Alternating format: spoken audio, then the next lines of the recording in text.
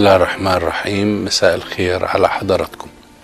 في الأيام القليلة الماضية حدث متغيرين مهمين في المنطقة. المتغير الأول هو خروج تركيا من علاقتها مع مصر بعدما قامت القاهرة بطرد السفير التركي واستدعاء مدير المراسم بوزارة الخارجية للسفير التركي في القاهرة حسين بيك عوني وإبلاغه بأن هو أصبح كما يسمى باللغة الدبلوماسية بيرسونا نان جراتا شخص غير مرغوب آه التواجد فيه داخل جمهورية مصر العربية بسبب تصريحات رجب طيب أردوغان رئيس الوزراء التركي التي تعتبر نوع من التدخل السافر في الشؤون الداخلية المصرية وفيها نوع من الإهانة البالغة للعلاقات التاريخية بين البلدين وبين الشعبين. المتغير الثاني المهم إنه زي ما تركيا خرجت من مصر إيران دخلت العالم الغربي مرة أخرى. آه إيران بالاتفاق الذي وقع في جنيف آه مع مجموعة خمسة زائد واحد استطاعت إن هي آه يكون لها اتفاق هذا الاتفاق فيه نوع من التبادل وهو أن وجود الحد الأعلى للتخصيب النووي لا يزيد عن 5% وأنه كمية البلوتونيوم الموجودة أو اليورانيوم الموجودة لديه لا تزيد عن 20% ويتم تخفيضها ومقابل ذلك يتم رفع جزئي عن إجراءات المقاطعة التجارية والاقتصادية من الممكن أن تبلغ حوالي سبعة مليارات من الدولارات. زمن الاتفاق هو ستة أشهر ويتم تشكيل لجنة دولية لمتابعة ورقابة مدى التزام الأطراف بتنفيذ هذا الاتفاق. طبعا إيران أن تكون طرفا في المنطقة وتدخل إلى علاقات مع الغرب تحديدا الاتحاد الأوروبي والولايات المتحدة. هو مسألة تعيد الكثير من المعادلات وتطرح تساؤلات حول موقف إيران من سوريا موقف إيران من روسيا موقف إيران من حزب الله موقف إيران من حركة حماس موقف إيران من الحوثيين في اليمن.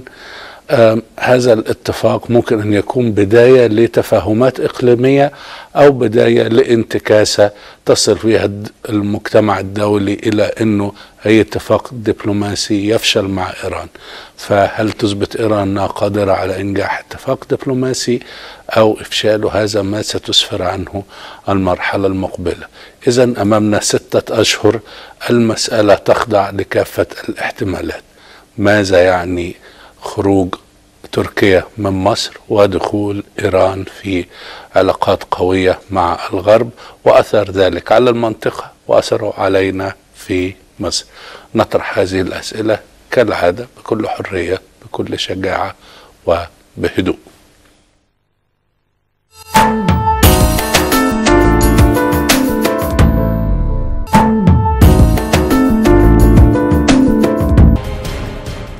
الخروج التركي من مصر والدخول الإيراني إلى أوروبا والغرب متغيرين مهمين. كل واحد منهما له اثاره على المنطقة العربية وعلى الشرق الأوسط وعلى الدور المصري في المنطقة. في نفس الوقت هناك دولتين محوريتين كان ليهم موقف في مراقبة ما يحدث وهما المملكة العربية السعودية وإسرائيل. وبرغم من اختلاف موقعهما إلا أن كل منهما وصلت تقريبا إلى نتائج متقاربة بالنسبة للأحداث. لمناقشة قضية اليوم يشرفني أن يكون معنا في الاستوديو حسب ترتيب جلوسهم من اليمين سعادة اللواء أحمد عبد الحليم الخبير العسكري والاستراتيجي. سيدي مساء الخير. أهلا بحضرتك. إحنا سعداء لوجود حضرتك معنا. أيضا يشرفني حسب ترتيب الجلوس سعادة الدكتور عبد المنعم المشاط أستاذ العلوم السياسية والأمن القومي جامعة القاهرة. مساء الخير دكتور عبد المنعم. وأخيرا وليس أخيرا أستاذنا سعادة السفير جمال بيومي مساعد وزير الخارجية الأسبق وأمين عام اتحاد المستثمرين. أهلا بحضرتك. يا فندم. أهلا بيك. السؤال الذي أبدأ بطرحه على الدكتور عبد المنعم المشاط. لمن لا يعرف؟ ماذا حدث بين مصر تركيا كمعلومات؟ وماذا حدث بين إيران والدول الخمسة زائد واحد في الاتفاق الذي بينهم. الأول نحط قاعدة البيانات أو المعلومات مجردة ثم نحاول أن نفهم ماذا تعني هذه المعلومات. يعني اولا العلاقات المصريه التركيه لم تكن ابدا علاقات آه، ودية تاريخيا. يعني منذ عام 1925 يعني بدأت العلاقات القنصلية بين الدولتين لكنها لم تكن آه، ودودة آه، بشكل كبير.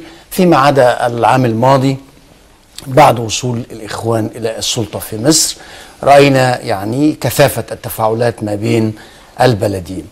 ال- تركيا آه، تاريخيا عضو طبعا في حلف بغداد ضد الثورة المصرية آه، منتصف الخمسينيات. تركيا آه، دولة حليفة استراتيجية لإسرائيل في العصر الحديث. تركيا دولة جوار لديها مشروع إسلامي كبير جدا وهو عودة الخلافة العثمانية وتصير مركز للسنة لتحل محل مصر وتحل محل الأزهر. لديه هذا المشروع التوسعي المهم الذي يأتي على حساب الدولة المصرية. وبالتالي ما حدث مؤخرا هو آه، عدم رضا الدولة التركية على ما جرى في مصر في 30 يونيو 3 يوليو و26 يوليو. ليس للمصلحة الوطنية المصرية وليس للمصلحة الإخوانية وإنما لفقدان تركيا هذا الوهم الكبير الذي عاشته لمدة عام. هذا لا ينفي أنه آه، بين مصر وتركيا علاقات تجارية متميزة. لا ينفي أن رئيس وزراء تركيا زار مصر في 2011 وتم الحقيقة تمت آه، استثمارات طيبة جدا من جانب التركي في مصر. لا ينفي هذا أنه عدد كبير من المصريين يذهبون إلى تركيا إلى آخره، لكن حقيقة الأمر استراتيجيا وسياسيا هذه الحقيقة، الحقيقة هي أن تركيا لديها مشروع استراتيجي يتناقض بالضرورة مع المصلحة القومية المصرية والأمن القومي المصري وآخرها طبعا التحالف الاستراتيجي مع إسرائيل والمناورات المشتركة مع إسرائيل، ده الجانب الأولاني. الجانب الثاني الجانب الإيراني. هو إنه إيران علاقة إيران والولايات المتحدة الأمريكية علاقة عجيبة جدا. وأنا يعني في أيام آه، كثيرة من 2009 2010 كنت أرى أن الولايات المتحدة تعمل- بتعمل ماركتنج الحقيقة للدور تسويق. الإيراني تسويق للدور الإيراني في منطقة الشرق الأوسط. وأنها إلى حد كبير جدا تغاضت عن آه، نمو القدرات العسكرية الإيرانية.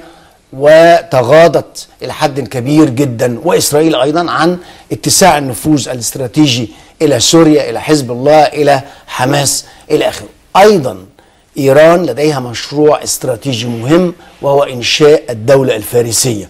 إنشاء الدولة الفارسية يأتي أيضا على حساب دول الخليج من ناحية وحساب الدور المصري ال- التقليدي كدولة إقليمية مركزية لها مصالح استراتيجية تبدأ من المحيط في المغرب إلى الدول الخليج العربية. وبالتالي أنا آه، آه، التوصل إلى اتفاق آه، بين خمسة زائد واحد وإيران ولمدة ستة أشهر وأنا أعتقد سوف يمتد وسوف ترفع العقوبات عن إيران لأنه هناك محاولة من جانب الولايات المتحدة الأمريكية لتعويض ما فقدته بقيام ثورة 30 يونيو في مصر بوجود حليف إسلامي آخر واستخدام مذهب مختلف وهو الش- المذهب الشيعي لتنفيذ أو لزيادة أو لتق... لاستمرار عملية التقسيم والتجزئة في حضرتك هنا. خدتنا لنقطة خطيرة جدا هنخش لها بالتفصيل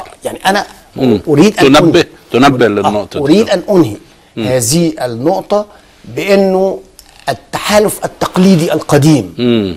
بين الثلاثي تركيا إيران إسرائيل هو تحالف قادم مم. قادم هو كان موجودا من قبل وهو قادم الآن والهدف منه هو تهديد الاحتمالات المفتوحة أمام الدولة المصرية الجديدة وأمام السياسة الخارجية المصرية الجديدة وأمام احتمالات القوية لوجود تحالف مستقبلي بين مصر من ناحية ودول الخليج العربي من ناحية أخرى.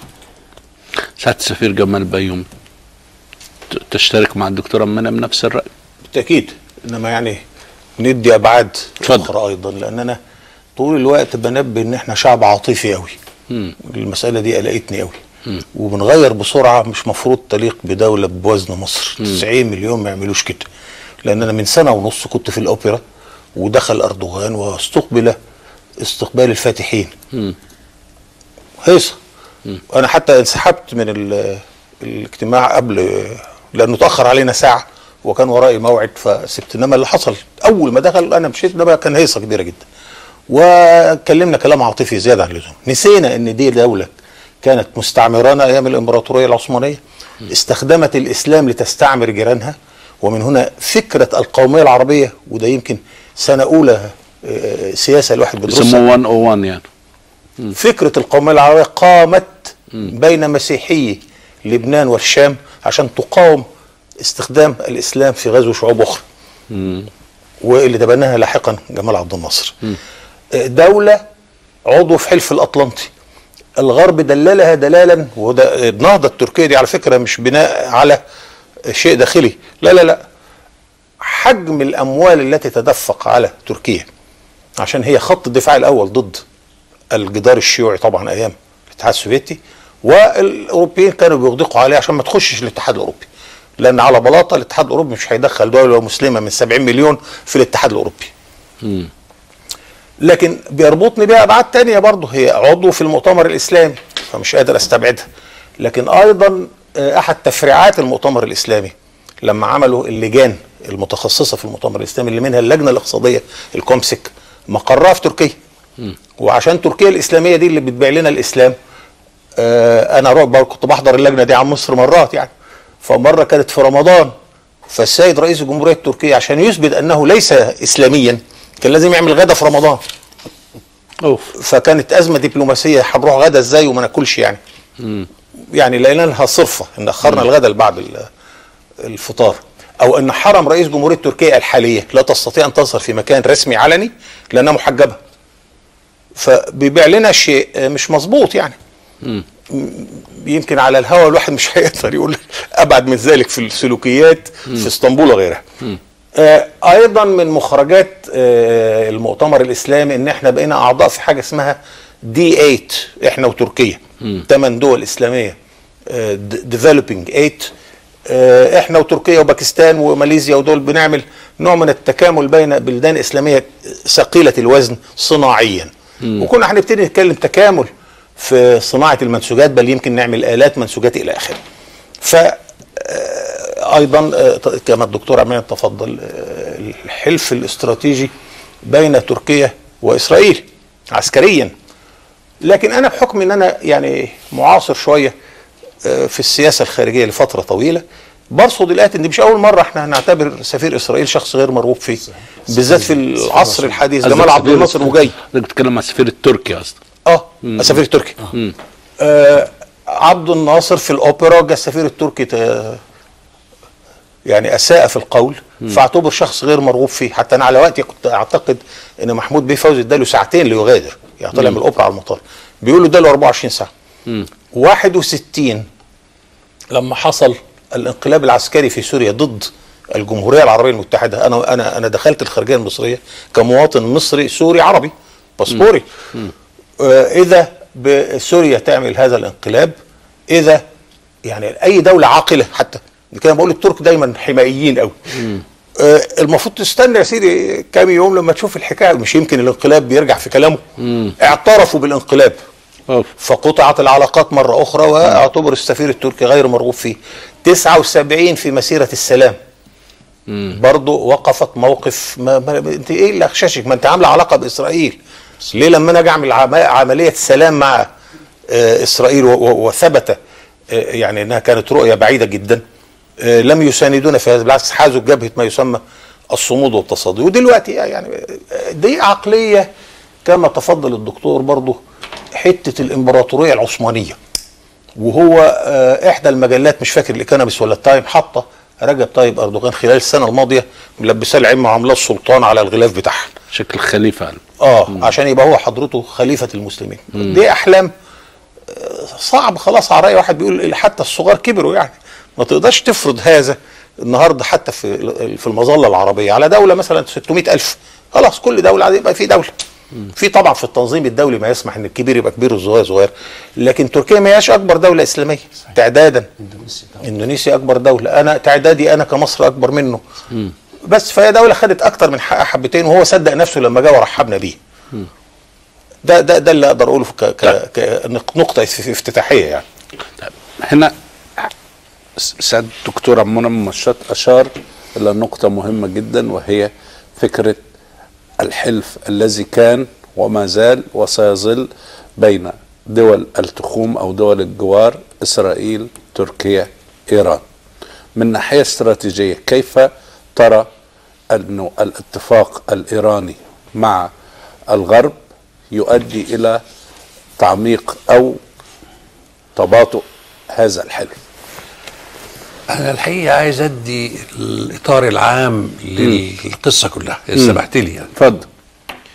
اولا لازم نعرف إن هو منذ فترة سنتين أو ثلاثة بدأت مجموعة من المتغيرات تحدث على مستوى العالم وتحدث على مستوى المناطق الإقليمية وتحدث على مستوى الدول في كل منطقة إقليمية.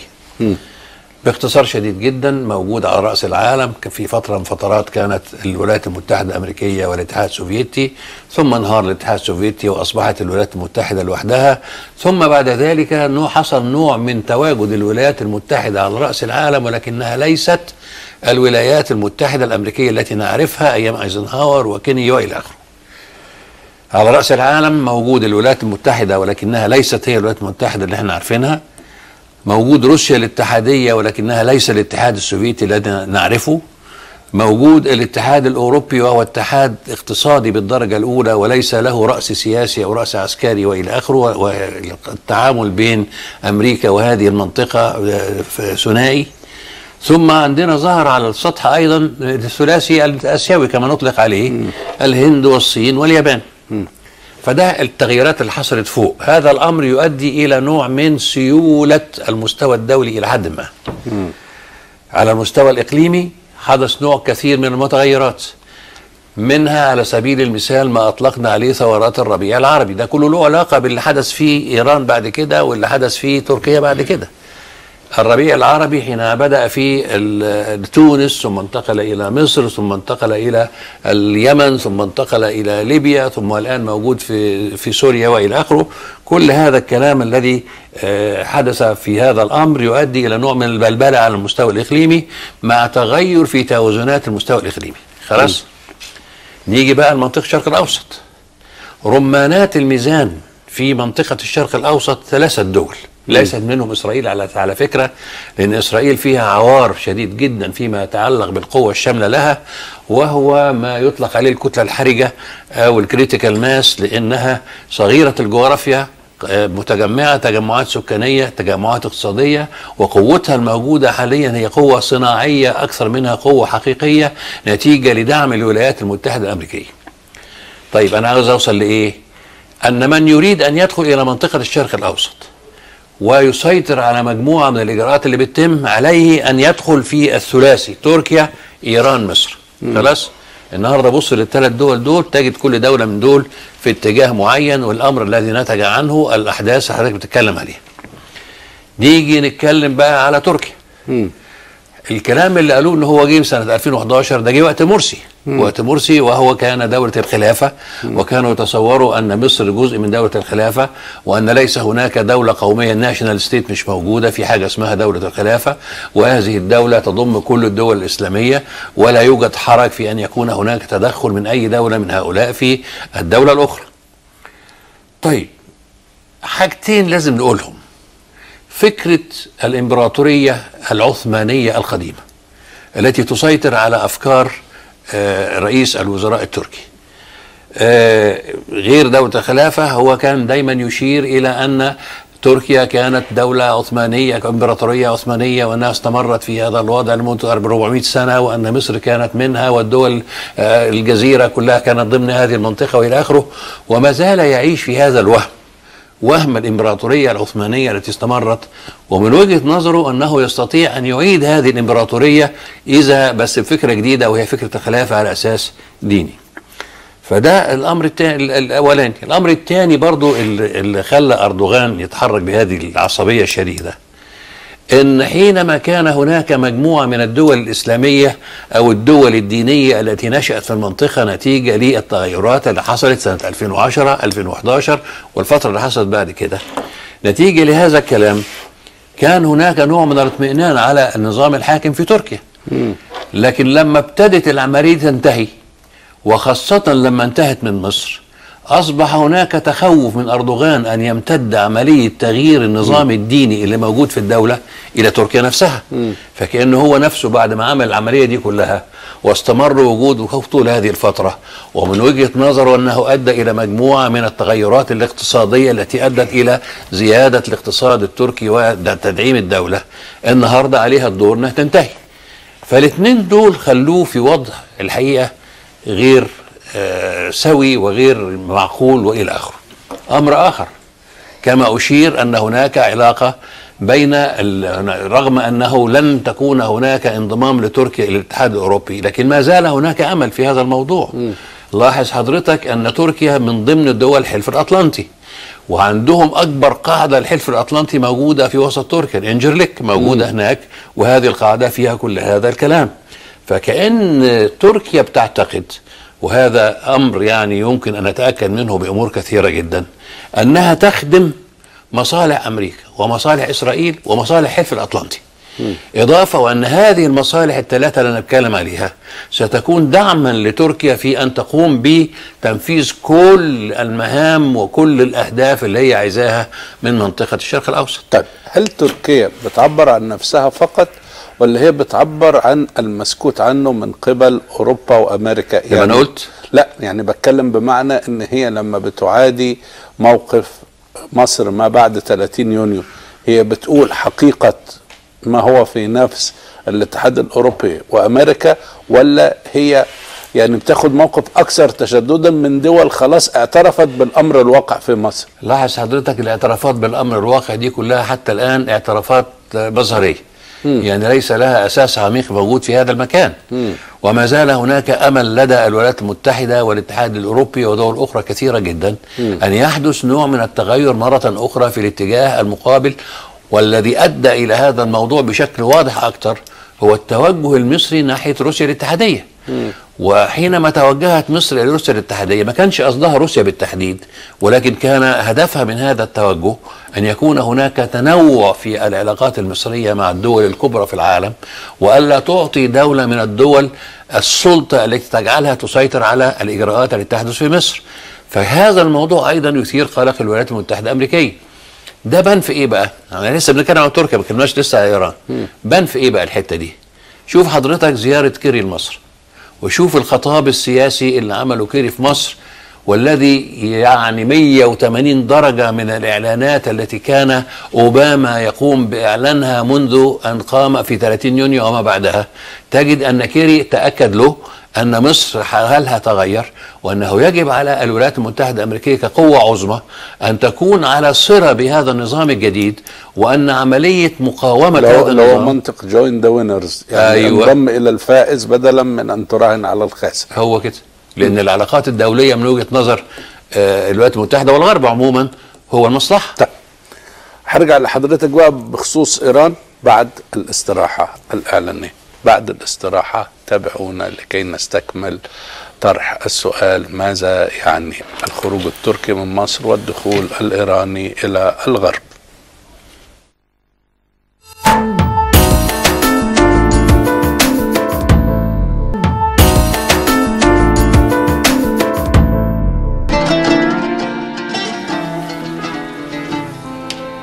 الخروج التركي دبلوماسيا من مصر بعد أن قامت القاهرة بإبلاغ السفير التركي في مصر بأنه شخص غير مرغوب فيه هذا حدث مهم. الحدث الثاني المهم وهو توقيع اتفاق جنيف بين إيران ودول الغرب والذي اعتبر نوع من التبادل المنافع ما بين الاتفاق النووي وفك الحصار التجاري والاقتصادي عن إيران.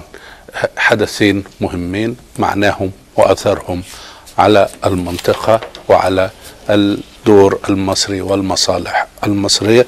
ضيوفنا في هذه الحلقة دكتور منى من مشاط سعادة السفير جمال بيومي سعادة اللواء أحمد عبد الحليم. قبل الاستراحة كان سعادة دكتور اللواء أحمد عبد الحليم. كنا بنسأله في نقطة مهمة الخاصة بتركيا. الآن نتحدث عن إيران. كيف تفهم الاتفاق الإيراني في جنيف مع الغرب. برضو لا نستطيع أن نتحدث عن هذا الاتفاق بالتحديد إلا أن نعرف جذور الموضوع. وجذور العلاقات الأمريكية الإيرانية مش من زمن طويل ولكن من زمن قريب. وهنبتدي في السبعينات حينما كانت هناك نوع من التطور في البرنامج النووي الإيراني بمساعدة من الولايات المتحدة الأمريكية. وكان هناك اتفاق بين الدولتين على إنشاء 22 محطة نووية مختلفة الأغراض. ونحن نذكر جميعا قصة لطيفة كانت حصلت إن هو طبعا مارتن إنديك ما أعرفش اللي كان موجود في مساعد وزير الخارجية مساعد وزير الخارجية في كان وقتها يا دوبك متعين في هذا المكان حينما يعني أطلق المبادرة بتاعته الشهيرة عن التغيرات في منطقة الشرق الأوسط. وكان يعتقد أن هناك يجب أن يكون هناك نوع من قسم انقسام في مجموعة القوى الموجودة. ويتم تدعيم إيران ويتم تدعيم بعض الدول الأخرى في هذا الموضوع. نذكر ال- ال- الحادثة اللطيفة يعني خارج يمكن ما هياش استراتيجية قوي لكن حينما كان الرئيس الأمريكي آه، يراقص إمبراطورة إيران في أواخر السبعينات وقال لها يعني نحن الآن آه، يعني نجهز إيران لكي تك- لكي تكون الدولة الأخرى التي تسيطر على المنطقة. وكان في هذا الوقت مع مارتن إنديك الم- المشروع بتاعه اللي طلع إن هو يقسم المنطقة إلى جزء تسيطر عليه إيران وجزء آخر تسيطر عليه آه، إسرائيل. ولكن هذا لم يحدث بهذا الشكل وبعد كده حاولوا إن هم يعدلوه في 83 زي ما قلنا بأمور أخرى كثيرة. أمريكا خطأ التاريخي بالتخلي عن شهائرها بإعادة تخلي عن شهيرة. طيب هل توقف البرنامج النووي الإسرا... ال... بعد هذا لم لم يتوقف. وكان هناك مجموعة وتوقف لفترة زمنية مؤقتة حينما قامت الحرب الإيرانية العراقية. وتوقف من سنة 80 لكن قبل الحرب ما تنتهي سنة 88 بسنة أو اتنين بدأ الخميني يرتب لإعادة ترتيب هذا البرنامج مرة أخرى لأنه هو اعتقد أن هذه الحرب اللي استمرت 8 سنوات لا يجب أن تتم مرة أخرى وأن هناك الإنفراستراكشر هناك بنية تحتية للبرنامج النووي الإيراني وأنها يجب عليها أن تقوم باستكمال هذا البرنامج حتى يمكن لها أن تصبح من الدول الكبيرة الكبرى الموجودة في منطقة الشرق الأوسط.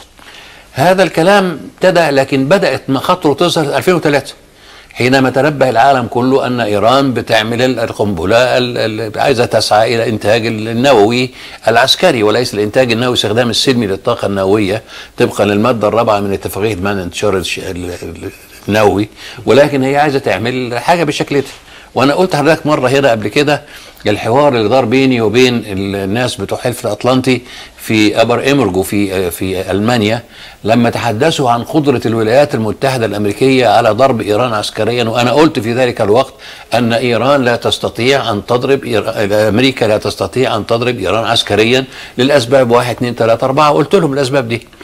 وقف واحد إسرائيلي قال للأسف أنا بضطر أوافق الجنرال المصري على الكلام ده وبضيف إن ولا إسرائيل تستطيع. أنا بقول المقدمة دي كلها ليه؟ عشان أقول أن إيران استخدمت هذا البرنامج في تحقيق بعض الأهداف السياسية وأنه رغم أن هناك ضغوط عليها وعقوبات كانت مفروضة عليها إلا أن هذه العقوبات لم تكن محكمة بشكل كامل لأن إيران تقع على مع دول كثيرة جدا في حدود مجاورة لها. وأيضا في نفس الوقت لم استطاعت أن تطور delivery means أو وسائل الحمل المختلفة وأن وسائل الحمل المختلفة كانت أحد الأسباب التي أدت إلى أن تكون إيران بهذا الشكل. لكن الضغوط الشديدة خلت إيران إلى حد ما يحصل نوع من المناورة. هو الاتفاق اللي حصل اتفاق شكله إيه؟ إيقاف البرنامج لمدة ستة أشهر على أن يتم خلال هذه الفترة الاتفاق على أسس الحل النهائي. أنا من الناس الذين يقولون أن هذه مناورة إيرانية وأنه لن يتم الاتفاق بالشكل الذي ترجوه الولايات كان المتحده شراء وقت. شراء وقت.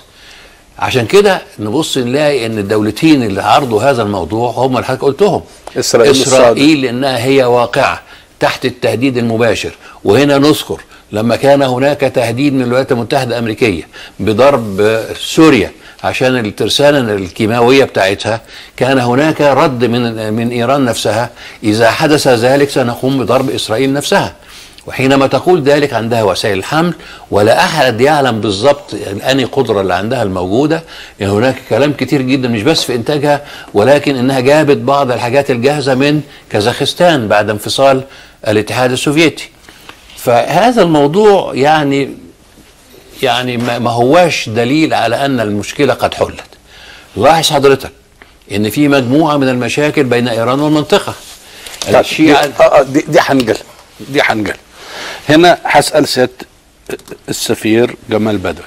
إيه هو المحتوى الاقتصادي أو التجاري في آه، الصفقة ال- أو الاتفاق الإيراني الغربي؟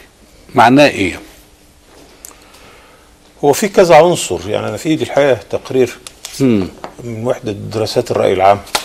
آه، يبدو إن إيران فعلا مهما تقاوح تأثرت كثيرا بالمقاطعة والإجراءات تجميد الأرصدة بتاعتها. في جزء خلفي في الصفقة إن في 42 مليار دولار آه، محل آه، كلام إن هي- هيفرج عنهم من الأموال المجمدة. المؤكد من ستة لسبعة. حتى الآن والله أنا قريت كلمة اخشى إن يكون أربعة واتنين من عشرة بس يبقى قليل قوي. برضه. إنما أنا قريت الرقم ده. آه إنما يعني نقول إن في مبلغ محترم مجمد إنما التقرير هنا اللي ده بيقول إن العملة الإيرانية تأثرت منذ بدء المقاطعة آه، بنسبة 60% تراجع البطالة 27% آه، 85% من الشعب الإيراني في استطلاع للرأي العام قال إنه تأثر بالإجراءات المقاطعة. أنا الحقيقة كل ده يعني كلام نظري. أنا اللي عاوز أنا يهمني إيه في ده؟ أنا ينتابني شعورين كمصري. واحد إن أنا برضو ما أخبيش عليك ولو اني على الهوا ما- مش كنتش أحب أقول كده. أنا عاوز دولة إسلامية أخرى يبقى عندي قنبلة نووية إسلامية أخرى جنب باكستان. لأن وأنا بتفاوض ليه إسرائيل تتخلى تتخلى عن برنامجها النووي؟ لو هخش بقى في المشروع المصري بتاع نزع أسلحة الدمار الشامل والأسلحة النووية من منطقة الشرق الأوسط. لازم يكون معايا كارت. سيب وأنا سيب مم. فده شعور. الشعور الثاني ما أراه من تهديد من إيران على المصالح العربية احتلال إيران لأجزاء من الوطن العربي الجزر ال- الخليجية. والحقيقة الخليج أنا لسه يعني جاي مرتين من الخليج مؤخرا ال- الخليج قلقان. و- وموقف السعودية الأخير أيضا عبر صراحة عن هذا آه، القلق. آه، أيضا حاجة مهمة أن لازم اللي بيضع آه، استراتيجيات السياسة المصرية في موضوع الطاقة وإحنا لعلك تذكر حضرتك إن إحنا لغاية 82 كنا بدينا نتفاوض على توريد المفاعل النووي الألماني إلى مصر بتمويل آه، 2.8 من عشرة مليار دولار ثم حدثت شيرنوبيل وأنا بعتقد إن شيرنوبيل دي أدت إلى الأمريكان استخدموا ضدنا مؤامرة تخويفية فضلت شلت القرار الرئاسي وقتها يعني الله يرحمه ماهر اباظه قال والله ابقوا اتكلموا أنتوا في الموضوع ده أنا اتكلمت فيه كتير. ما حدش عاوز إنه يع- يع- يعاود آه، زيارة هذا القرار إن إحنا نمتنع عن آه، برنامج نووي ومحطة للاستخدام السلمي ضبعه السعر ارتفع النهارده دخلنا في كذا مليون. إحنا في المجلس المصري للشؤون الخيريه درسنا هذا الموضوع ثلاث أربع سنين ثم جددناه الموسم الثقافي الماضي في جامعة أسيوط. ما مستقبل البرنامج النووي المصري في ظل التطورات دي؟ لأن أنا مقدم على حاجة وارجو أرجوك معلش تصبر عليا دقيقة. اتفضل فندم. لأنها خطيرة جدا. أنا بتكلم على 20 سنة جاية اتفضل في موضوع الطاقة. اتفضل. على جانب منظمة التجارة العالمية التجارة في البترول ليست تحت مظلة منظمة التجارة العالمية. فما هيش م... لأن لو لو أنا دخلتها وهناك مسعى من أيام آه العشر سنين الماضية إن يدخلوا تجارة البترول تحت مظلة. منظمة التجارة العالمية خصوصا مع دخول المملكة العربية السعودية في المنظمة اعتبارا من يناير 2005 لو دخلنا بالبترول تحت مظلة التجارة الدولية يبقى مش هقدر أستخدم آه، آه، تحكم في البترول يروح شمال أو يمين. لأن هخضع لشرط الدولة الأولى بالرعاية وشرط عدم التمييز وشرط عدم المقاطعة. ده جناح آه، بيهددني بشكل ما. الجناح الآخر لو أن البترول في النهاية بيقولوا له عمر فيبقى الطاقة البديلة والجديدة والمتجددة إلى واللي منها ال- ال- البرنامج النووي في أي مكان وده اللي خلى مصر تقدم على برنامج نووي. طب الوقود؟ يبقى أنا هاجابه بعد 10 إلى 20 سنة من الآن. موقف بعد العرب والشرق الأوسط ما هو المتحكم في الإمدادات الرئيسية للطاقة وهي البترول. هيبقى الغرب هو اللي متحكم في الوقود النووي. ومن هنا لأن الحقيقة مهما عرضنا إيران الموقف الإيراني لتخصيب اليورانيوم موقف دولي سليم طبقا لمعاهدة منع الانتشار النووي. هو الفكرة إنه هل بيعدي التخصيب تركيز التخصيب بيعدي المرحلة اللي هو سلمي ويخش في عسكري ولا لأ؟ عشان يعمل قنبلة. فأنا هلاقي موقف أنا بشتري محطات نووية بعشرات المليارات والوقود هو عنده. فبعد أنا ما كنت متحكم في الطاقة في صورة بترول يتحكم هو في الطاقة في صورة وقود نووي. لهذا أنا بنبه من دلوقتي ودي الحقيقة يعني الموضوع بتاع إيران ده آه، صح في دماغي هذه ال ال الإشارات الحمراء. هشتري أنا التاني ويعني الشعب المصري هيقعد المصري وغيره هيشتري محطات نووية كتحسبا للامدادات البترول تتراجع شوية ثم يبقى أنا الوقود عند الغرب. لا اللي حي... أنا بقول صانع القرار النهارده في مصر ينبغي أن يأخذ من هذا الدرس. عاوز أجيب محطة بشرط أن يسمح لي بتخصيب اليورانيوم في بلدي. ما بقاش خاضع تحت سيطرة الغرب فيه. ماذا أقول هتختل معادلة الطاقة في العالم كله. وإن السيطرة الرئيسية على السيطرة الكلية على الطاقة م- ميزة الحدث التاريخي نعم. ليس تدريسه في الكتب ولكن مظبوط. استقراء الدروس والعبر. منه هو ده. ومحاولة الاستفادة من آه اضيف حاجة أيضا الغيرية. لهذا إن ليس غريبا إن الولايات المتحدة بتستورد بترول الشرق الاوسط طول الوقت وبتدخر بترولها هي بل يقال لما بينزل سعر البترول في الشرق الأوسط بتجيب أكتر من احتياجاتها وبتحقنها في الآبار الأمريكية ده, ده الناس بتفكر ل 50 سنة قدام هيجي يوم سوف أكون أنا محتاج للغرب حتى في البترول وحتى في آه، الوقود النووي لتشغيل المفاعلات اللي أنا اشتريتها دون الوقود بتاعها. معاهدة منع الانتشار النووي. ومصر لها دور تاريخي فيها. إحنا عملنا تنازل غير معقول عشان نمضي على هذه المعاهدة دون أن توقعها إسرائيل.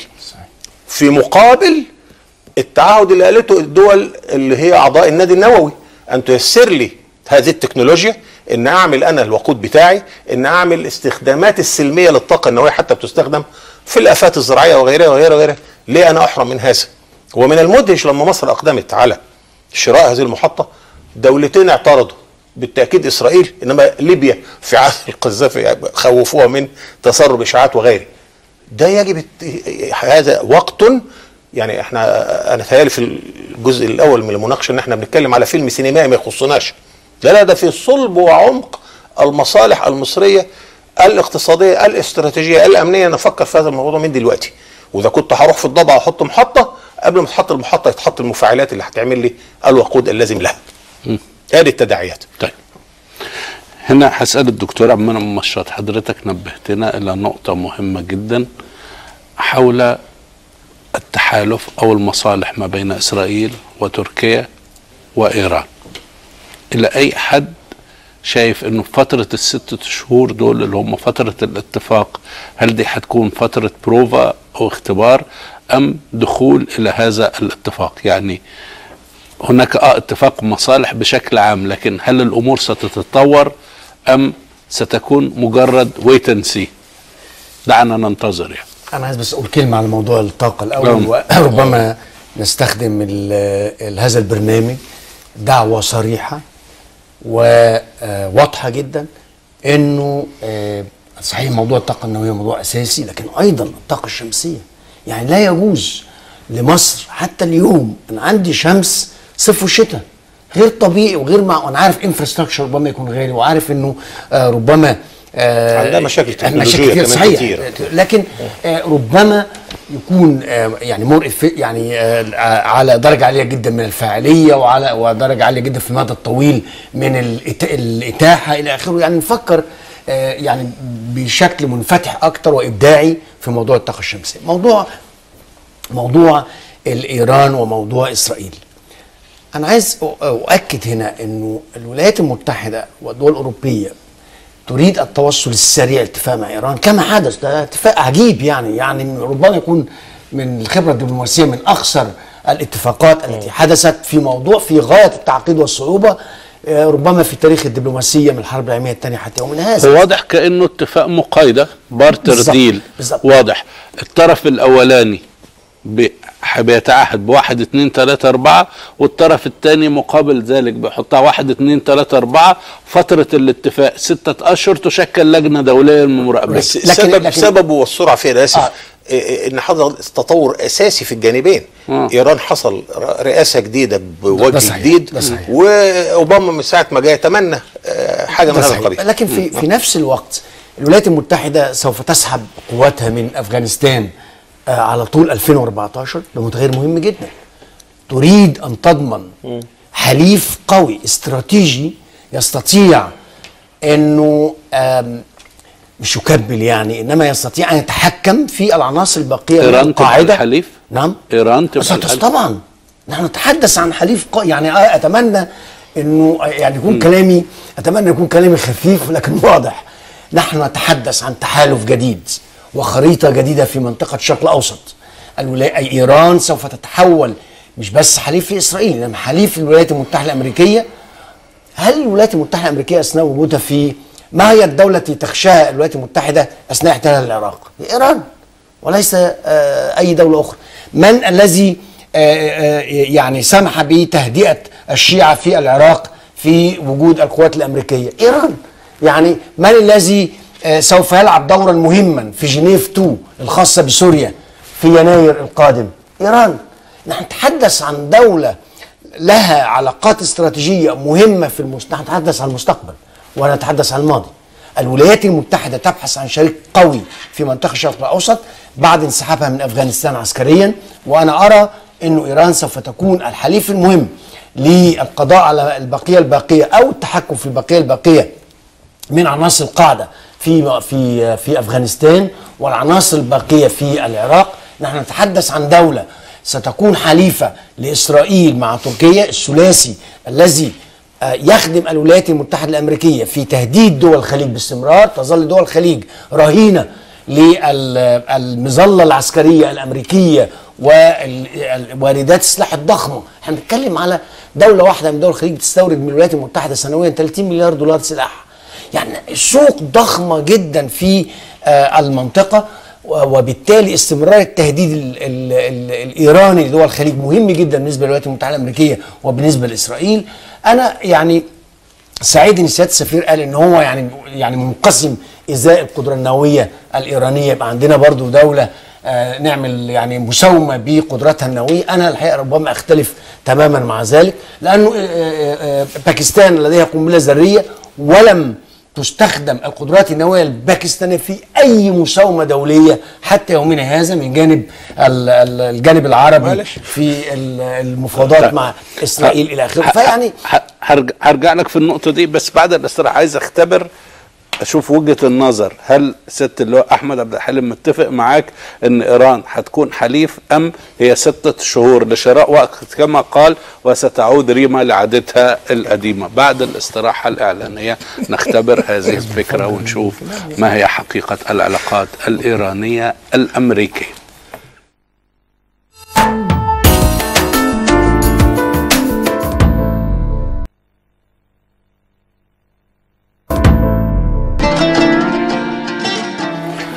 الخروج التركي من العلاقات مع مصر والدخول الإيراني إلى العلاقات مع أوروبا والولايات المتحدة الأمريكية بعد توقيع اتفاق جنيف بين إيران ودول خمسة زائد واحد. قبل الاستراحة الإعلانية أحد ضيوفنا الدكتور عمنا مشاط ينبهنا إلى إنه إيران ستصبح حليفا قويا واساسيا في المرحلة المقبلة مع الولايات المتحدة الأمريكية وأنه هذا الاتفاق الذي وقع في جنيف سيكون نواة لهذا الموضوع.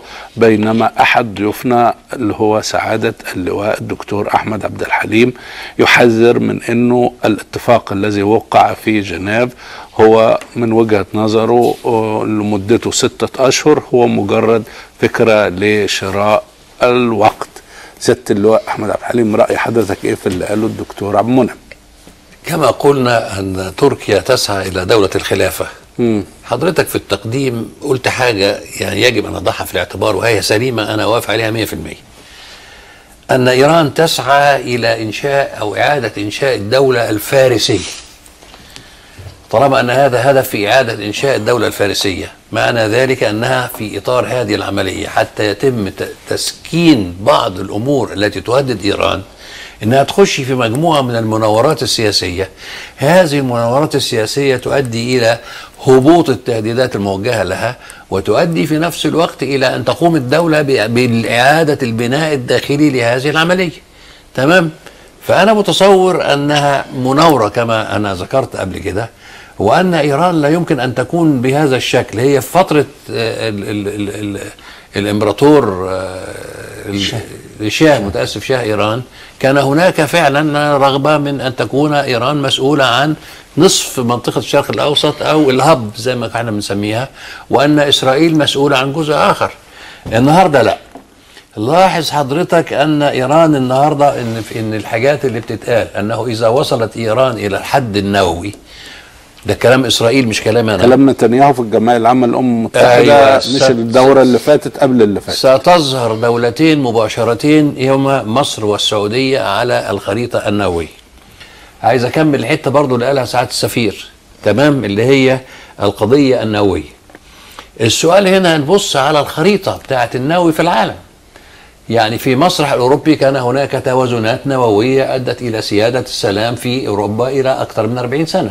60 في ال 60 أنا كنت لسه ما اتولدتش أنا أظن يعني لكن على أي حال في آسيا كان هناك أيضا مجموعة من الدول النووية الرسمية وغير الرسميه التي أدت إلى توازنات وأدت إلى أن يكون هناك التوازن الذي يسمح بأن تسير الأمور. الشرق الأوسط ما فيهوش غير إسرائيل. وهنا السؤال بقى عشان الحتة بتاعت حضرتك هل من الأفضل أن تكون إسرائيل دولة وحيدة في المنطقة تستطيع أن تستخدم السلاح النووي إذا أرادت نظريا على الأقل وإذا لم تستخدمه تستخدمه كأداة لل- للسياسة الخارجية ولا لأ؟ هنا السؤال. التقدير الغربي بقى مش أكتر من اللي قاله نتنياهو. التقدير الغربي أنه إذا استطاعت إيران أن تصل إلى القدرة النووية فإن هناك ستة دول على الأقل ستظهر على الخريطة النووية في منطقة الشرق الأوسط. وهذا أمر طبعا مهدد لاسرائيل من كل ناحية. الخلاصة أنا أعتقد أن أن إيران تعلم رغم كل مشاكلها لكنها تعلمت السياسة نتيجة لمجموعة من الخبرات الأخيرة سواء حينما كان الشاه موجودا والاضطرابات اللي حصلت ضده أفكر هنا بمصدق من أيام مصدق حتى ثم بعد ذلك لما راح الشاه وجه الحكم الإسلامي والذي أدى إلى الحرب العراقية الإيرانية والتدميرات التي حدثت و و إلى آخره. ثم بعد ذلك بدء إيران في إنشاء القوة النووية التي وصلت فيها إلى درجة من ضمن الحاجات اللي قلتها لا أحد يستطيع أن يجزم إلى أي درجة وصل البرنامج النووي الإيراني. يعني النهارده لما تيجي إيران تقول أنا قبلت الموضوع ده وهقعد ست شهور هل أحد يستطيع أن يؤكد أنها ليس لم تصل إلى الإنتاج النووي أو على شفا الإنتاج النووي ولا لا؟ يا دكتور. نعم. أنا بعمل مع حضرتك حوارات من سنة كام؟ 95 كويس. 20 سنة. آه وعملت مع حضرتك كام ساعة تقريبا؟ حوالي 9000 مثلا. 9000 ساعه فممكن أعمل رسالة دكتوراه في حضرتك. أنا سألت حضرتك سؤال. وزغت منه أنا. أيوه بالظبط كده. وأنا. قاعد ساكت مستني أشوف تروح. فين فين؟ وأنا صبور هو جدا لا صعبان ما هو ملوش علاقة بإنك تختلف مع الدكتور صعبان عليه. يختلف معايا برضه. لا لا لا, لا مش قضيه عليه. صعبان عليك لا يختلف أنا. أنا السؤال. أنا رأيي مضاد للي قاله خلاص كويس كده. مش قضيه كويس والله مش مش قضيه. إثارة خلاف. لا، أنا- أنا مش هم هم هم هيبقوا حلفاء لا، أم لا، لا. سينفجر الوضع بعد ستة لا، أشهر هي هناك- يعني هو شراء وقت ما بين إيران والأمريكان شراء وقت بين إيران والأمريكان مش مش مش بداية زواج بين لا لا. لا لا لن يكون هناك هذا الزواج لأن في اختلافات كثيرة جدا معلش لا خلينا أنا محضر خير بتركيا طيب ولا- طيب طيب خليني محضر خير نسمع ب- نسمع آه، بقية رأيه؟ يعني نسمع في بقية العلاقات رأيه؟ الدولية مفيش يعني عداء دائم ولا لا صعوبيه دائمه الدنيا بتتغير ده تشرشل آه، مره الدنيا سالوه. الحكاية دي ما آه. أعرفش أنا عارفين الحكاية دي ولا لا فقال لهم في فترة الحرب العالمية الثانية كانت روسيا الاتحاد السوفيتي حليف لنا وكنا مضادين للألمان صحيح. وبعد ذلك أصبحنا ال- ال- ألمانيا حليف لنا وأصبحنا ضد الاتحاد السوفيتي تمام. لأننا نسعى إلى مصلحتنا فإذا دي قضية م- م- منتهية يعني عملية أن السياسة الدولية أيوة لكن حضرتك منتهية. مش شايف لا أنا لا إنه الاتفاق لا. الإيراني مع دول خمسة زائد واحد هو لا. بداية زواج مع الغرب خاصة أن إيران تستشعر الخطر النووي الإسرائيلي. تستشعر دي. طيب. هقف عند النقطة دي. أسمع سعادة السفير جمال بيومي وبعدين أسمع رأي حضرتك. اتفضل. لا يعني أنا آه، الحقيقة مش عاوز أقول إن في خلاف. لا لا أنا بفتح موضوعات. طب يعني اتفضل، اتفضل، دي اتفضل. كلها نظرية احتمالات. أيوة فندم احتمال قاله الدكتور مشاط طبعا ويعني شكله إنه قفز قفزة كبيرة على الاستيعاب بتاعنا. واحتمال قاله سات له. الاثنين أنا مش يعني مش ح- مش هميل لواحد فيهم خالص. ده محتمل وده محتمل وينبغي على الدبلوماسية النشطة صانع القرار السياسي المستقبلي في مصر أن يضع في اعتباره كل الاحتمالات. مم. خصوصا أصلا ال- ال- اللعبة اتغيرت. روسيا والاتحاد السوفيتي الذي غادرنا هو اللي غادرنا لما عملنا مسيرة السلام. مش هي روسيا اللي جت تزورنا النهارده. لأن برضه أنا أخشى من العاطفة المصرية. صحيح. العاطفة المصرية كده دايما الغرام عندنا ما فيهوش وسط يا فاتن حمامة يا فريد شوقي ما فيش وسط. فهل روسيا تستطيع أو حتى الصين تستطيع أن تتخذ موقفا في الأزمة السورية اللي هي تمسهم أكتر؟ يعني يبقى عكس اتجاهات الغرب والولايات المتحدة روسيا اللي انضمت في يناير 2013 إلى منظمة التجارة العالمية. اللي جمال عبد الناصر دخلها سنة 70 شوف الرؤية المصرية والرؤية الروسية. أو الصين اللي دخلتها في روسيا بداية أعطت, السبب للولايات المتحدة للانسحاب من التعهدات التي قال بها آه، باراك أوباما. أنا في النهاية برضو دايما. أنا لأني يعني راجل مش اداله يعني رغم أنني ابن ال- ال- ال- المدرسة آه، الأكاديمية لكن أنا راجل بقالي مدة شوية يعني في المدرسة العملية. طبعا. ده في الآخر يعمل بي إيه بس كده مسألة؟ انحيازات. مم. أنا يعني لما لما الروس جم يا سلام. أنا أنا عليا إقبال شوية من صغار المحررين عشان أفسر لهم الحاجات دي. خلاص بقى نستغنى عن أمريكا. وليه أستغنى عن لا، ما أمريكا؟ قال كده. مين قال؟ لا أنا طبعا حضرتك مش هتقول. مش كده؟ لأن أنا أرى إن التكوين الجديد ودخول روسيا منظمة التجارة العالمية ودخول روسيا للجي 7 بقت جي 8 مجموعة الدول الأغنى في العالم هي عضو فيها. وأن الصين هو حصل تطورين عاوز أوضحهم لحضرتك أو يعني نتشارك فيهم. منذ انهيار حائط برلين حدث تطورين آه، واضحين. واحد الثنائية القطبية انتهت طبعا. الإرهاب اللي هو مسألة الأمن بقى حصل فيه تطور خطير إن بضاعتنا ردت إلينا. توليد الإرهاب في المنطقة اللي كانت بتصدر إرهاب. ما بقيناش نسمع على عمليات آه، 9/11 تاني. التطور الثاني هو إن استطاعت الولايات المتحدة منذ كينيدي مش النهارده وتطورت في حرب النجوم اللي عملها ريجان لجرجرة الاتحاد السوفيتي إلى أن يبرك على قدميه حتى صار الجسد الاقتصادي العالمي كيان واحد. ويبقى يوم مش كويس في حياة الصين لو أن الاقتصاد الأمريكي يحصل له حاجة. بل أن في, في إحنا عشنا أيام ريجن حرب النجوم. صواريخ في السماء تخبط الصواريخ اللي في الأرض. الآن نحن نعيش حرب العملات. الصين تراهن على ارتفاع قيمة الدولار وخفض عملتها هي. وهي متهمة إنها بتخفض عملتها ب 30% عن عن قيمتها الحقيقية. لماذا؟ لكي تكون أكبر دولة مصدرة في العالم. لمن؟ لأكبر دولة مستوردة في العالم الولايات المتحدة. فأصبح و- وده أنا ب- ب- بتصور كي- يعني نجاح من وراء العقل للسياسة الأمريكية. رغم ما يحدث إن إحنا لأول وهلة الدولار اتوكس وكسة شديدة يعني. ومع ذلك لما أوباما قرر عشان يقاوم تخفيض العملة الصينية فاتخذ سياسة نقدية إنه يصدر دولارات 600 مليار دولار في ثلاث سنين. الصين راحت اشترتهم لكي تبقي على قيمة العملة الأمريكية وتخفض من عملتها هي لأنها أكبر حائز للدولار. هذا العالم كيف نتعامل معه بان أنا أقول هروح أنحاز لروسيا ولما الرئيس السابق راح الصين ولما ده, ده البرازيل بقت مش عارف نستغنى بيها عن أمريكا. لا لا لا. أنا أفتكر إن أحسن ما حدث آه، بشكل استراتيجي في السياسة الخارجية العربية لما الله يرحمهم الاثنين الملك فيصل والرئيس السادات أكد للولايات المتحدة أنت عاوز إيه من إسرائيل؟ هو عاوز مني حاجتين أساسا يعني. أمن المرور في المضايق والقنوات مضيق جبل طارق خليج المندب وقناة السويس ولا ينبغي ابدا أن أهدد بإغلاق أي منهم. اثنين تدفق الطاقة بس وت- وتبقى إسرائيل. وعلى فكرة إذا أكدنا هذا وإننا نتبادل المصالح ولا نتناطح يبقى الأمن القومي المصري بخير. وأنا مش أقوى من روسيا ومش أقوى من الصين. أنا ما بعملش تنازلات هنا. أنا بتكلم على إن أنا مصلحتي. قناة السويس لما اتقفلت 67 العرب دعموا مصر ب 101 مليون جنيه استرليني. كانت هي دي إيرادات قناة السويس النهارده بتعمل لك 5 و6 مليار. فمش ماليش مصلحة إن أنا لا أهدد بغلقها. ده, ده, ده محل إيراد ليا. ليه, ليه دايما أدخله في العمليات دي؟ وخصوصا إن فيه داخليا تهديدات عليه. كويس. أو الطاقة. بس أنا عاوز أخد برضو الدرس وأروح أشتغل شوية لأن أنا مش عدو لحد.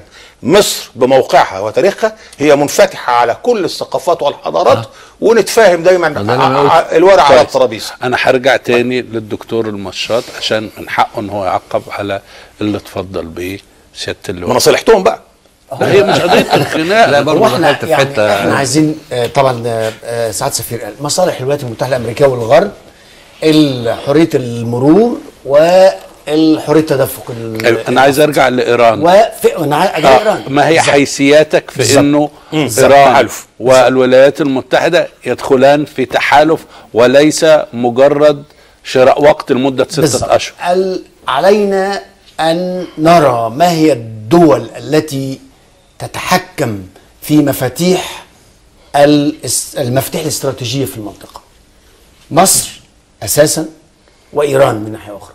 إيران تتحكم ولها اليد العليا في العراق حتى يومنا هذا.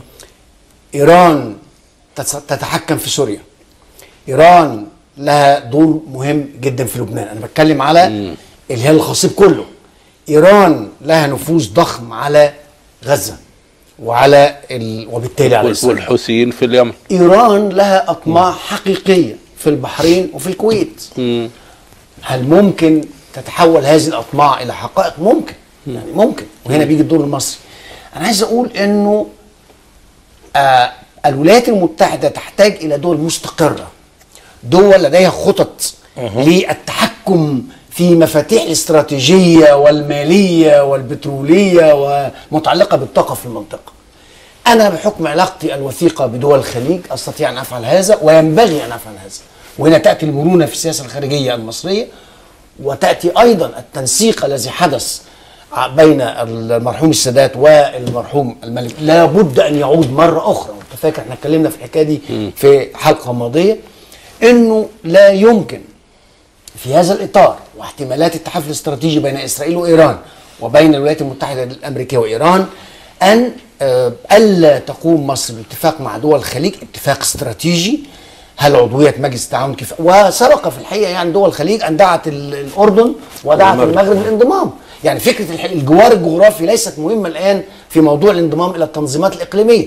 أنا آه، آه، أعتقد أن الخطوة القادمة للرد على هذا الثلاثي إسرائيل إيران تركيا الولايات المتحدة الأمريكية اللي هي عاملة سبونسر يعني أو آه، راعية لهذا الثلاثي أعتقد أنه ينبغي على الدولة المصرية وعلى دول الخليج التوصل اتفاق استراتيجي.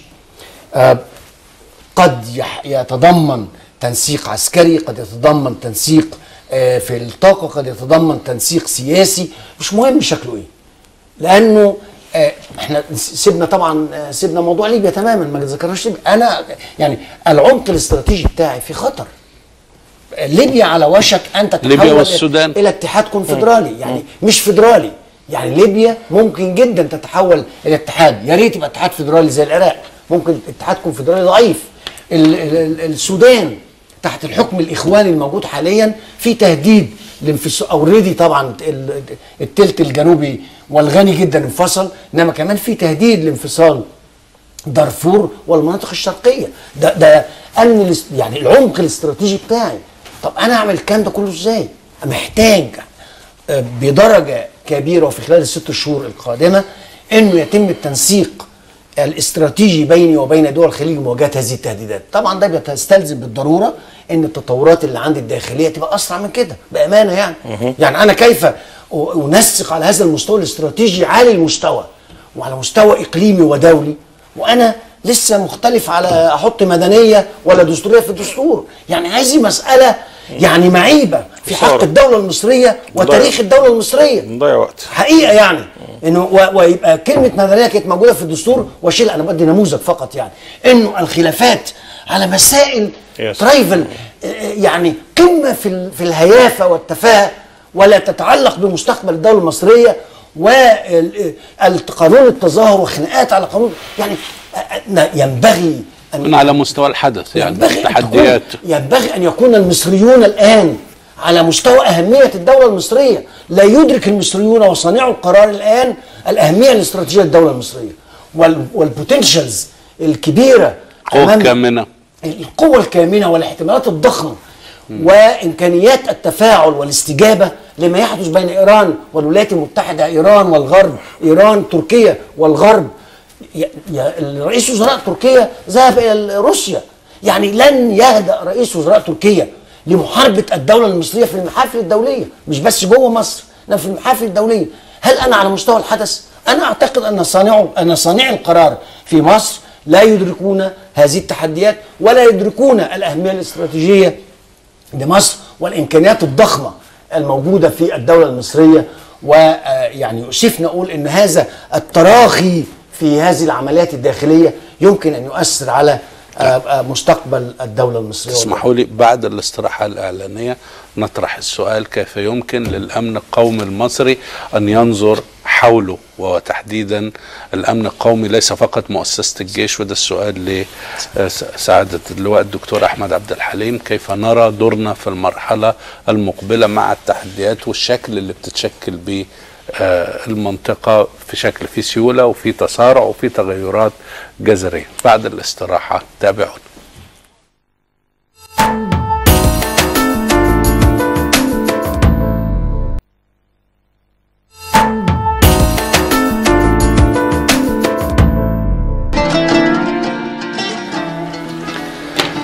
الآن وصلنا لنقطة مهمة جدا في حوارنا حوالين تركيا بعدما آه، اصطدمت بالحاجز المصري وإيران التي بدأت تدخل أو تدق أبواب الغرب بالاتفاق اللي عملته في جنيف إن هناك تغيرات في المنطقة سواء عجبانا أو مش عجبانا معها أو ضدها. كيف يمكن هنا بقى لصانع القرار كما نبهنا الدكتور منعم المشاط وكافة ضيوفنا إن إحنا ننتبه إلى التغيرات اللي هي التي تحدث. هنا السؤال لو انت في المؤسسة العسكرية المصرية قيادة الجيش المصري وهي تعد لتصورها لمجال الأمن القومي بتاعها أنا بتكلم هنا في الاستراتيجي الكبير هل هي محتاجة إن هي تنظر للمنطقة بشكل مختلف؟ المنطقة وللعالم بشكل مختلف. لأن كما قلت لحضرتك وقلت لكم هنا وأنا قاعد أن قضية تعدد العلاقات من المتغيرات الجديدة التي موجودة الآن في العقل العقل والضمير المصري. بمعنى أنه العلاقات الثنائية أو الاعتماد على حليف واحد فقط هذا الأمر انتهى أمره. وأنه يجب على الدول أن يكون لها علاقات متعددة مع أطياف دولية وأطياف إقليمية وإلى آخره حتى يكون هناك فرصة للاختيار بين كل هذا الكلام ولا يكون هناك فرصة من هذه القوى الدولية أن تفرض امرا ما علينا. فده أمر ابتدى بروسيا وليس معنى هذا أن إحنا بنركز فقط على روسيا كما قلت ولكن روسيا كانت البداية وروسيا من مصلحتها ان أن تعود مرة أخرى إلى منطقة الشرق الأوسط يعني هي خرجت من منطقة الشرق الأوسط ودخلت الولايات المتحدة الأمريكية والآن وجدت ثغرة في أن تدخل مرة أخرى إلى المنطقة سواء عن طريق المناورة التي فعلتها مع الولايات المتحدة فيما يخص سوريا أو سواء في العلاقات الجديدة التي سوف تنشأ بين مصر وبين روسيا. لكن هذا الكلام لا يعني بالنسبة لمصر إن إحنا نقتصر على الدولتين دول لا. وفيما يتعلق بالقوات المسلحة الدولتين دول وغير الدولتين دول والأسواق العالمية المفتوحة للسلاح في كل حتة في العالم حتى لو لم تكن هناك دول. دي قضية أمن قومي ما فيهاش هزار. القضية الثانية إن فكرة التحالفات اختلفت. يعني في الفترة الماضية القديمة قبل أن يكون هناك تطور في التكنولوجيا تطور في الاتصالات والمواصلات وإلى آخره كانت التحالفات دائمة. حلف شمال الأطلنطي حلف ما أعرفش إيه إلى آخره من هذا الكلام. النهارده فكرة التحالف ما أصبحتش بالشكل ده. لم تصبح عملية ثابتة تجمع الدول مع بعضها ولكن أصبحت تتعلق بما يجب أن يتم التحالف عليه. بمعنى أنا لي أمر ما عايز أعمله في منطقة ما ضد أو مع دولة ما. تمام؟ أبتدي أشوف هذا الأمر عشان أعمله. أنا محتاج إني أدخل على تحالفاتي مين؟ أقول والله أنا محتاج في هذا الأمر بالتحديد ان يكون معايا على الأقل الدولة دي والدولة دي والدولة دي ان يكون على الأقل في الجانب المحايد ليا الدولة دي والدولة دي أن يكون هناك مجموعة من الأمور التي أحسبها في دماغي عشان أحقق ده. أعمل ده وأنفذ بيه المهمة دي بمجرد أن تنتهي تنتهي قصة التحالف. إلى أن تبرز قضية جديدة هم أعمل نفس الكلام. من في هذه القضية الجديدة يستطيع إن هو ي... وهكذا. فإذا قصة التحالفات اتغيرت. الأمر الثالث أنا قلت قلت عليه قبل كده وهو أن التغيرات التي تحدث التي حدثت على المستوى الدولي والمستوى العالمي أصبحت تقول أنه ليس هناك نظرية سياسية واحدة تحكم العالم أو نظريتين كما كان موجودا من صح، قبل. صح. لا س... ولا اقتصادية. نعم. ولا اقتصاديه ما- ده أنا كنت هخش في دي مع حضرتك حضرتك سبقتني. لأن النتيجه لأن عدم وجود نظرية سياسية واحدة أصبح هناك خلخلة فيما يتعلق بالقضايا السياسية.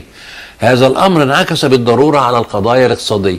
ولم تصبح هناك نظرية اقتصادية واحدة لأن ليس هناك فكر سياسي واحد يحكم مجموعات من الدول كما كان موجودا. فالأمر يؤدي أيضا إلى عدم وجود أفكار اقتصادية محددة طبقا لتصورات سياسية موجودة فيؤدي أرضه إلى نوع من ال- السيولة في قضية الاقتصادية. هذا الأمر له عيوب طبعا لكن له ميزة أن في هذه الفترة اللي فيها هذا التعويم للعلاقات السياسية والاقتصادية وإلى آخره يمكن الدول المحلية من أن تدفع بقضاياها إلى المائدة الدولية. ودي الحتة اللي أنا بنبه عليها دايما في مصر. ان إحنا الآن في مرحلة نستطيع إذا ما درسنا التغيرات التي تحدث وإذا ما شفنا الكلام اللي بيحصل على مستوى العالم والمنطقة وتغير التوازنات ان أنا أدفع بالقضايا بتاعتي مباشرة إلى المستوى الدولي. عايز أقول حتة بقى نربطها بأصل موضوعنا. إن عملية ضرب تركيا وإيران ومصر في بعضهم بيؤدي في النهاية إلى إزالة أحد الدرجات فيما يتعلق بالعلاقات الدولية وهو المستوى الإقليمي. وهنا تصبح علاقات الدول من الدولة مباشرة إلى المستوى العالمي. فده برضه له ميزة وله عيب. ميزته إنك تستطيع أن تدفع بقضاياك إلى المستوى العالمي. لكن عيبه أن هذا الأمر مؤقت.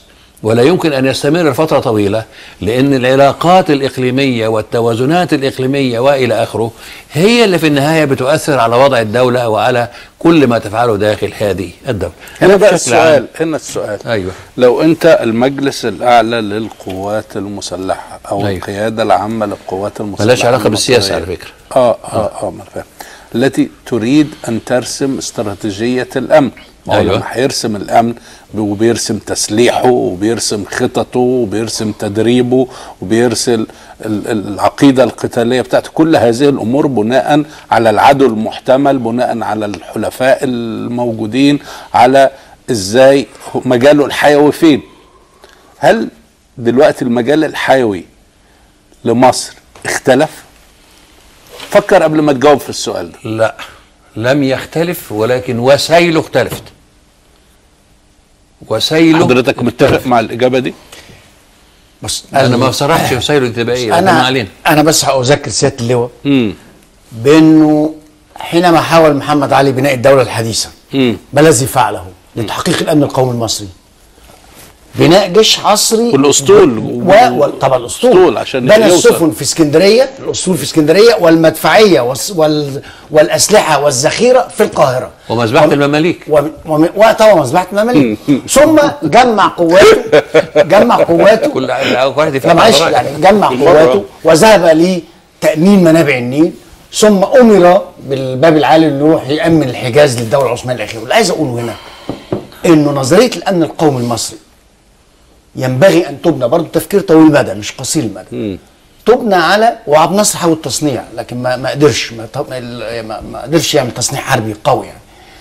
واحد تصنيع عسكري حديث وعصري. ناس نحن لسنا أقل من الهند يعني سيادة السفير ذكر الهند. شوف التقدم العسكري الهندي قد إيه النهارده. والهند بدأت معانا إحنا الحقيقة بدأنا القرن 19 قبل الهند سياسيا واقتصاديا إلى اخره ووصلت النهارده سواء آه، صناعة عسكرية أو صناعة مدنية قد إيه ولازم أستفيد من هذه التجربة. يعني ليس بعيدا عننا لو في حد كري يعني حد مبدع يعني صانع قرار مبدع سواء في المؤسسة العسكرية أو في المؤسسة المدنية أو رئيس قادم إلى آخره إنه يجعل آه، العمود الأول للأمن القومي المصري التصنيع الحربي بالإضافة لتنويع السلاح. أنا موافق طبعا تنويع السلاح إنما التصنيع العسكري. اثنين إنه مجالات الأمن المجال الحيوي الامن القومي المصري هو ما اختلفش بمعنى كبير. لا أنا أنا هنا بس عايز أفتح نقط عشان تساعد صحيح. حضرتك في إجابتك. يعني أصبح من الواضح إنه إيران مجالها الحيوي ومنطقة الخليج وبتتكلم على المضايق. بالظبط. أنا مش هقدر أقف موقف المتفرج إذا ما تعرض الخليج. ده هيكون قرار السياسي. بالتالي ممكن يكون لي دور يا إما في الردع أو في الحماية أو في الاشتباك. بالظبط. كويس. يبقى في الحالة دي شكل تسليحي وشكل تدريبي وشكل انتشار قواتي ممكن يكون له مجال أبعد من مجرد سيناء وليبيا والسودان. ده ده مظبوط تمام. طيب دي نقطة. إذا أنا دلوقتي شايف إن تركيا عايزة تعمل دولة الخلافة إذا وصلت إلى سوريا أو الع- أو هذه النقاط فهل أنا هقف أتفرج على المشروعات التركية الاستيطانية أو الاستعمارية في المنطقة؟ وهكذا. نقطتين وهكذا. بالظبط. السؤال يبقى أنا في الحالة دي وأنا بجهز جيشي وأنا بجهز تسليحي وأنا بجهز خططي وأنا بجهز مناوراتي وأنا بجهز بعثاتي. أكيد في عالم ارحب واكبر من شكل العالم اللي أنا كنت شايفه. عشان كده سألت سيادة اللواء هل في تغيير؟ فحضرتك قلت لي الوسائل اختلفت. أنا بس هرجع لك تاني. قصدك إيه ال- بالوسائل؟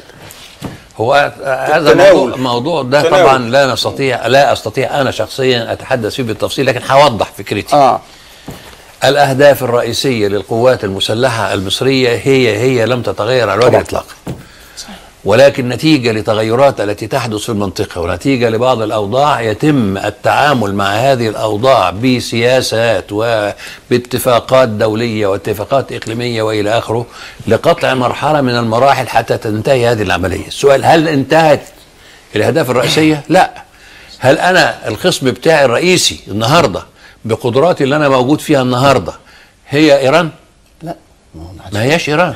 يعني النهارده مصر والسعودية بيعملوا مناورات مستمرة دائمة بحرية اللي هي مرجان أيوه. دي مع- معمولة علشان متوقع إن العدو بتاعك هيقتم الإسكيمو يعني؟ لا لا. طبعا. ال- المناورات دي نوع يعني في مرحلة من المراحل بتسعى الدولة إلى تعميق تحالفاتها افقيا وراسيا.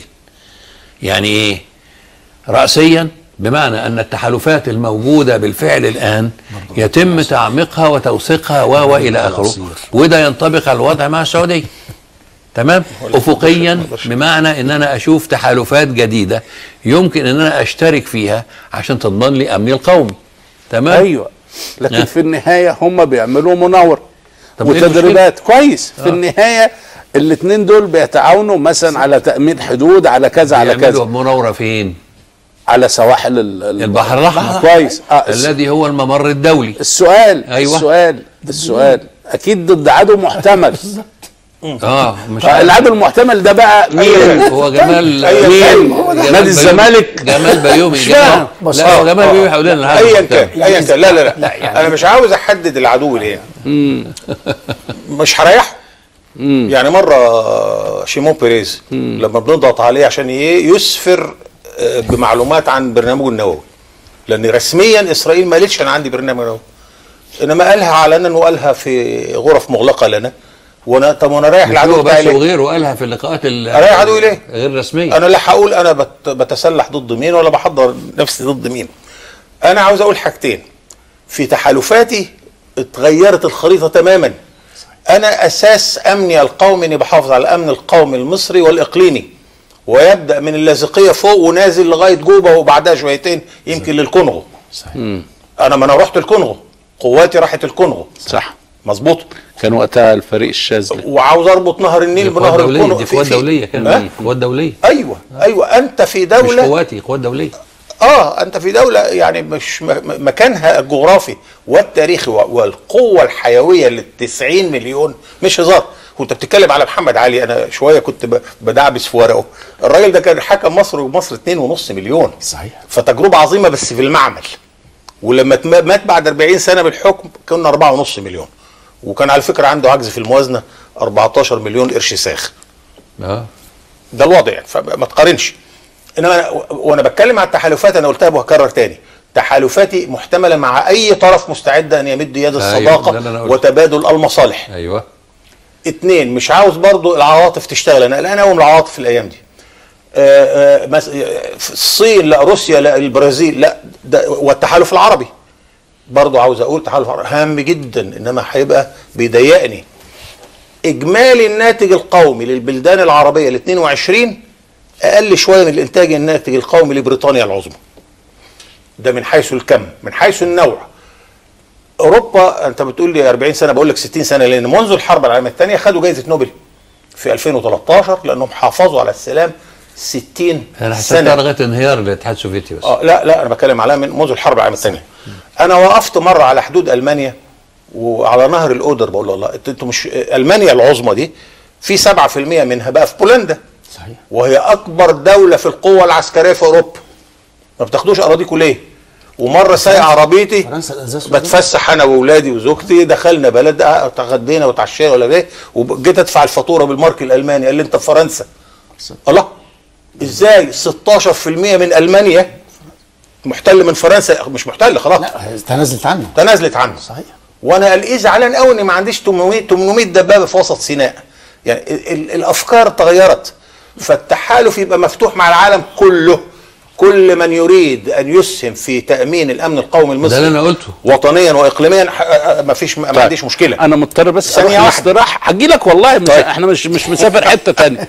بعد الاستراحة الاعلانيه يستمر الحوار ونستمع. بعد الاستراحة فورا لسعاده السفير جمال بيومي. ريحتك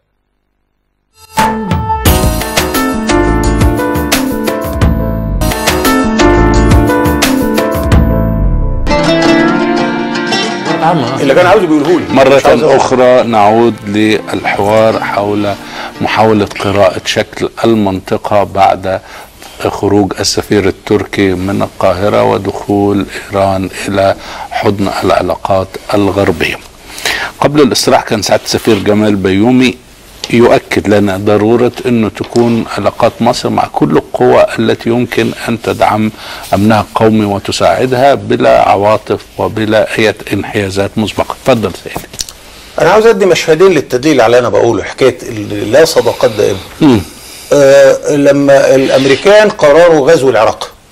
مم. وده كان بسبب إن صدام حسين ابتدى يلعب لعبة البترول وده مش صح. ما تلعبش اللعبة دي. إلا إذا كنت قدها. call your bluff بيقولوا له. فراحوا احتلوه. فرنسا وألمانيا وبلجيكا عرضوا معارضة قوية. ثم أمريكا قررت أن تعاقب حلفائها اللي لم يساندوها في هذه الخطوة. كيكة اعمار العراق منعت عن فرنسا. صحيح. أنا حضرت في فبراير آه، 2005 مع أحمد أبو الغيط مؤتمر للأمن والسلام. حاجة على نمط دافوس بس آه، ألماني. ولقيت مصالحة شديدة وزير الدفاع رامسفيلد على هيلاري كلينتون على ما أنا عارف كل ما تتصوروا من زعامات أوروبا والولايات المتحدة كانوا في الوفد فحتى واحد قال له if this is a new Rumsfeld or a new American policy. في مصالحة. نتيجتها يا فندم مش فرنسا اللي زعلت من تدخل أمريكا في العراق هي فرنسا اللي ضربت قواتها الجوية هي اللي ضربت آه، ليبيا. صحيح. بالتوكيل بقى. لا يا عم سيبنا نخلص لك الشغلانة. والآن طبعا يبقى في مكافأة على هذا. شوف التحالف بينتقلب من إيه لإيه؟ وكان بيدعي ان ده موقف آه، مبدئي. أوروبا اللي بنضرب بيها المثل في الوحدة الأوروبية والوحدة النقدية وأنا عندي الوحدة اللغة العربية دي أهم من الوحدة النقدية في رأيي. الستين سنة من السلام دول وهم النهارده وحدة نقدية واقتصادية. ده بين أصدقاء وحبايب وبيتكلموا لغة واحدة. أوروبا تتكلم 21 لغة في 28 دولة. والحمد لله عندي لغة واحدة. هي تحالف بين أعداء الأمس اللي عملوا حرب السبعين سنة في الإمبراطورية ال- ال- الفرانكو جرمانيه اللي انقسمت لفرنسا من ناحية وألمانيا من الناحيه الثانية وحرب بين الألمان اللي دخلوا لغاية آه، آه، روسيا ثم استطاعوا إن الحرب لن تؤدي إلى نتيجة وعملوا تحالف أساسه التقدم الاقتصادي ليوصل لشيء لا توصل إليه الحروب. التحالفات اللي أنا برضه كلمة أخيرة عن سؤال حضرتك. هل الأمن القومي المصري والمصالح المصرية تختلف؟ لا من أيام احمس طارد الهكسوس لغاية آه، الشام صحيح. إلى النهارده آه، جمال عبد الناصر وما بعده محمد علي باشا باني السدود وجمال عبد الناصر باني السد العالي. بس كده بس كده. فالتحالف مفتوح على طول الخط. لمن يحقق الأمن القومي؟ وأيضا ما هو هي مسألة ال zero sum game دي انتهت. مسألة واحد يهزم تماما والتاني ما ياخدش حاجة لا يوجد. وما مش يعني فوز بلمس الأكتاف يعني. بالظبط كده. لا لا لا لا لا لا, لا. تقسيم المصالح. ولعبت اللعبة دي.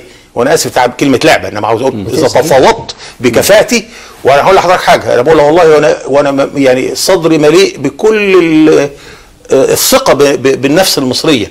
أنا بقول للدبلوماسية الصغيرين عشان تشتغل تمثل بلدك أول حاجة إنك تخرج بره كده صدرك منفوخ. إحنا بلد عندها كل المقومات أن تتفاوض. ووراء شعب عظيم ووراء منطقة بتعبدك. لا نروح ندور بقى على مش عارف دولة تعدادها 600 مليون. يا جماعة إحنا زدنا السنة اللي فاتت 2.5 مليون طفل. أين مسؤوليتنا تجاه هؤلاء؟ وعلى رأيي يعني أنا بصارش أنت ريحتني بحتة هنقف بقى عند مش عارف مدنية. الدستور أم راي الراجل آه، سواق التاكسي بيقول لي بدون كستور وسيبك من الدستور ده خالص. لقمة العيش والكساء والغذاء. ونبتدي نشوف شغلنا. لديك كل ال- المكونات اللي تعمل سياسة خارجية مصرية تحقق مصالحك. في تهديد جديد أنا قلت لحضرتك عليه في الاستراحة وهو ال- ال- اللاعب الجديد في آه، المنطقة العربية الهند. أنا راجع من الخليج كان لسه عمرو موسى في الجامعة العربية ودعا إلى اجتماع كان بالليل فأنا ظللت صامتا وأنا عادة ما بصمتش ابدا يعني فجات لي ورقة بيقول الامين العام بيقول لك لا أسكت الله لك حسا فتدخلي في تلك الجلسة قلت له والله أنا جاي من الخليج وعندي انطباع إن إسرائيل دي دولة عبيطة ليه؟ إيه اللي خلاها تعمل حروب وقنابل نووية عشان تحتل فلسطين؟ الهند احتلت الخليج خلاص. الجيل الرابع الهندي بيتولد في بعض دول الخليج وده هتقول له يرجع يرجع فين؟ هم هم أصلا خلاص اتولد هناك. فين بقى تعريب الوظائف وسعوده الوظائف وتمصير الوظائف؟ أنا داخل الفندق ودي حصلت أنا لسه جاي أول امبارح. الست كتبت لها الاستمارة في الفندق قالت تكتبها بالإنجليزي. قلت متأسف. أنت في بلد عربي وأنا عربي مش هكتب بال- باللغة الإنجليزية. وأصبح من النادر أن تجد عربي في فندق في بلدان الخليج. وبيتراجع ليه كده؟ ليه كده؟ وهتيجي في يوم هتكتشف أن الأمة الهندية بقت جنبنا عبر البحر الأحمر. طيب. دكتور المنعم أنا آه، موافق طبعا على الكلام اللي سمعته. أضيف مسألة أساسية. إحنا بنتكلم عن الامن القومي المصري. أنا قناعتي المطلقة الأمن القومي المصري يبدأ من الداخل. طب تماما. برافو. يعني يبدأ من الداخل وليس من الخارج. والكلام التقليدي بتاع زمان إن في فصل ما بين الأبعاد الخارجية والداخلية في تهديد الأمن القومي هذا انتهى تماما. وإنه مصادر التهديد على حسب أهميته مصادر رئيسية ومصادر ثانوية. أن بناء القوم الأمن القومي المصري يبدأ من الداخل بمعنى تحقيق ربنا ادانا حاجة نعمه لا ندرك قيمتها ودول عديدة تعاني منها أن الشعب المصري نسيج واحد. وبالتالي ما عنديش مشكلة لو عايز أعمل تعبئه لو عايز أعمل تجنيد لو عايز أعمل أي شغلانة عايز أعملها مع الشعب المصري 90 مليون ما عنديش مشكلة. صحيح. في دول تانية لو خدت قرار إن أنا أصلي الدولة ألف وأسيب الدولة ب تحصل كارثة داخلية. ما عنديش المشكلة دي. ميزة ضخمة لصانع القرار إنه بيطمن إن ظهره مش مكشوف وهو يتجه إلى الخارج. فاولا نحتاج وسريعا إلى بناء جبهة داخلية قوية الاشتباكات الداخلية حول القضايا السياسية. واحد الاقتصاديه اثنين وأنا أناشد صانع القرار برضه موضوع العدالة الاجتماعية مش موضوع هزار ولا فك مجالس. موضوع أساسي ويتعلق بالأمن القومي المصري في معناه الاستراتيجي الكبير جدا وهو موضوع العدالة الاجتماعية والاستقرار السياسي الداخلي. ثم نأتي في الخارج موضوع التحالفات أنا موافق عليها تماما مع آه، آه، رؤيتي وأعتقد عدد كبير من المصريين يتفقون على هذا إنه الخليج هو مجال حيوي رئيسي للأمن القومي المصري ولا ينبغي أن آه، نقلل من أهمية النظر إلى الخليج كمجال حيوي. واتفاق الضروري والرئيسي مع السعودية مع الإمارات مع دول الخليج في هذا الشأن. أنا بعتذر ان عندي جملة توضح التحالفات. أنا خلاص الوقت آه، خلص. في فا- ثانية. آه. جون فوستر دالاس آه. في كتابه حرب ام سلام اللي مترجم للعربية قريته سنة 60 آه. بيقول أنا ما قلقتش لما مصر ابتدت تنسلخ عن الغرب وابتديت أطمن لما ابتدت تنحاز للشرق. والمهم إنها تكون منحازة لأينا.